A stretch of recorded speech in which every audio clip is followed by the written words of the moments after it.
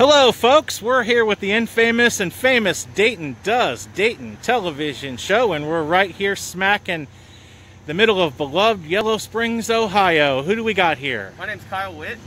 Kyle, where are you originally from? I'm from New Carlisle, Ohio. New Carlisle. And where do you live now? I live in Huber Heights. Huber Heights, Ohio. Pretty close to Dayton. Yep. And you were telling me that you were interested in possibly moving to downtown Dayton, correct? Correct.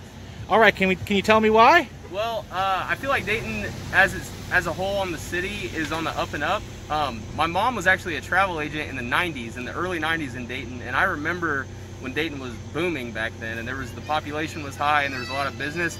And I feel like there's kind of a collective uh, regrowth to the downtown area that's kind of catching catching some wind recently. So it's it's really cool to see, and I think it's on the up and up. So that's why. Excellent. Is there anything that's keeping you from moving down there right now or the next few weeks or several months or maybe by the end of the year? Is there, anything? There's a part of me that loves uh, the land and being uh, in like a farmhouse type setting, but yeah. I really like the new uh, culture that's kind of accumulating in downtown Dayton, and I, I, like to see that, and I'd like to be a part of it. So, great.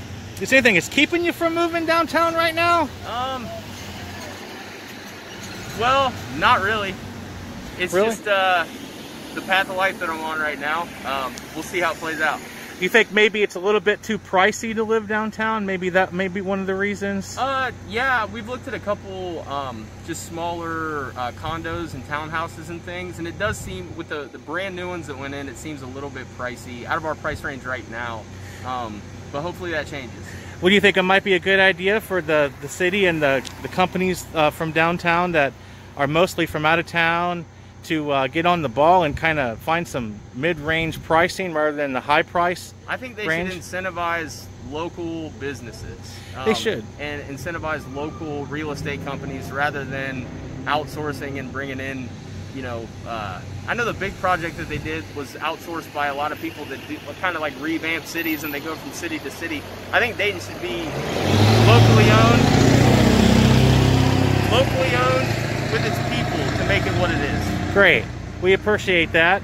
Um, I, you agree with me basically that if we get more Dayton people to move in downtown, which as we discussed before the interview, we were discussing on most of the people who live in downtown Dayton really aren't from Dayton and from the surrounding areas.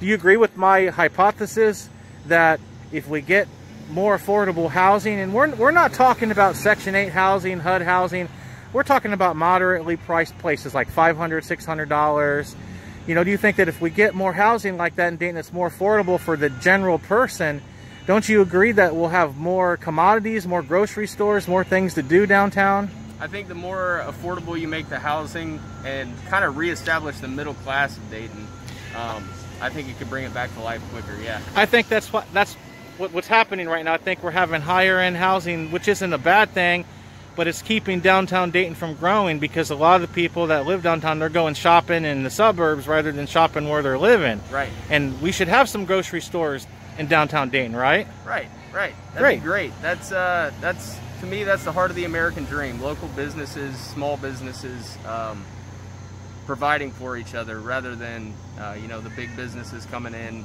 and and cutting out the profits of the locally owned places. So the more local owned businesses and the more affordable housing for locals to move in, I think the better. Great. And uh, again, thank you for watching. This is the Dayton Does Dayton television show, and we're here in downtown Yellow Springs. And uh, anyone when you, you want to say hi to? Uh, yeah, my mom and dad, Greg and Kelly Witt. All right. Thank you for watching the famous and infamous, infamous Dayton Does Dayton television show. Thank you very much.